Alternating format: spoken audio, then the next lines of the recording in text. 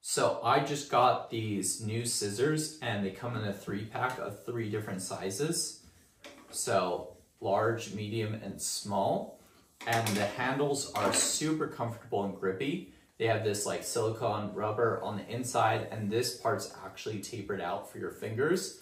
So if you're right-handed, it's perfect. If you're left-handed, it's not as perfect because it is built for right-handed. It's tapered out.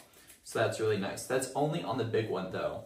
The other two scissors are not tapered. They're just the same rounded either side. So you could give the other two scissors to your left-handed friend and keep the right for yourself.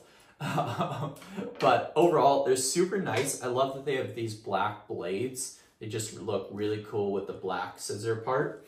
And they're super sharp. So I have a piece of cardboard here that the scissors were in. You can see how sharp they are. So even the small ones, that honestly you'd be like, oh, these are for your kids. They're not for your kids, they're for your adults. Super sharp as well.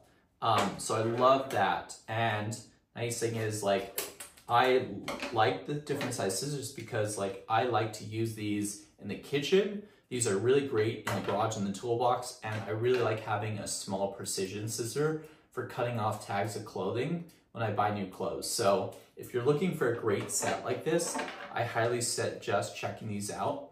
Um, they're really cool. The company that makes these scissors sponsored this video, but it doesn't impact our review of them at all. Honestly, I've been wanting some really high quality scissors and highly suggest you check them out.